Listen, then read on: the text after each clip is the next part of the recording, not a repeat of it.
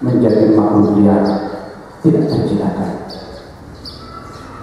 Karena ketakutan yang sangat luar biasa dari rejim Orde Baru itulah hingga rejim Orde Baru merasa perlu untuk mengerahkan seluruh kekuatan yang dimilikinya hanya untuk melawan seorang yang secara fisik tidak berdaya akhirnya antara lain melalui yang berjudul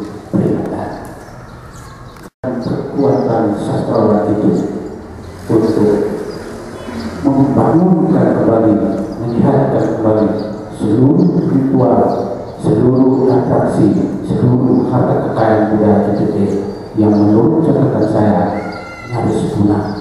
Sudah terabaikan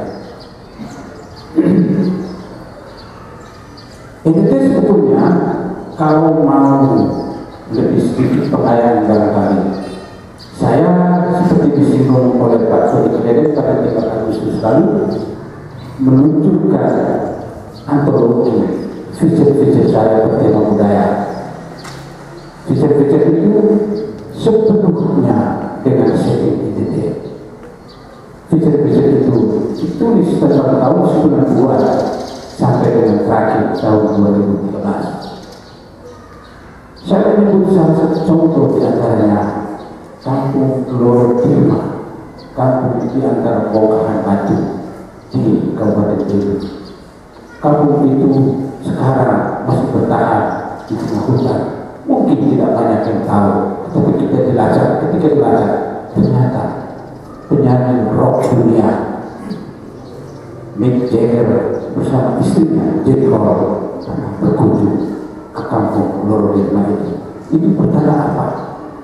Kampung itu meskipun senyap dan juga industri penerbitan. Jadi kita berharap bahwa apa yang kita hasilkan itu punya tempat untuk diterbitkan. Uh, korelasi ini menghasilkan bisa sedih juga, juga bisa gembira. Sedih dan gembira seperti diungkapkan Pak Para tadi sebentar akan kita bahas terjawab. Sekarang kita pindah ke semua paparan tadi turun minus malu turun dan kita mendengar tadi itu Umran menampilkan dan menempatkan diri sebagai seorang wartawan yang luar biasa.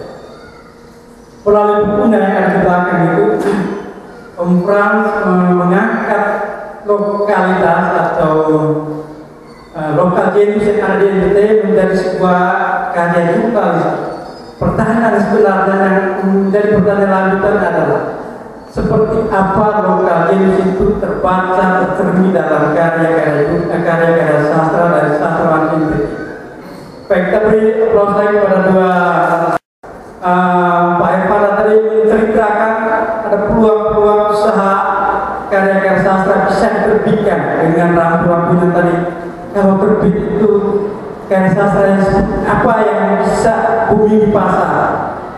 Frans juga sudah menunjukkan begitu banyak lokalitas yang belum tersentuh yang dari sebenarnya bahasan.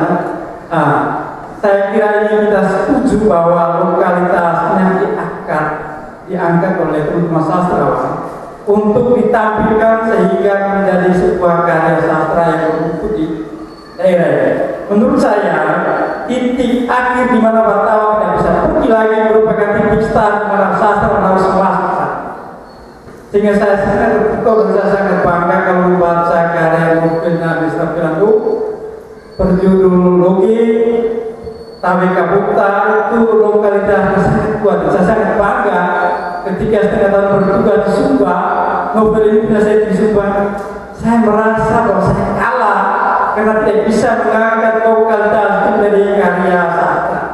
Saya seorang wartawan hanya bisa mengemas itu dari karya jurnalistik yang sebetulnya menurut saya terbatas. Saya memberi apresiasi luar biasa kepada teman-teman sastrawan. Mari mengangkat lokalitas kita di NTT untuk ditampilkan menjadi sebuah karya sastra yang bermutu di daerah ini. Itu saja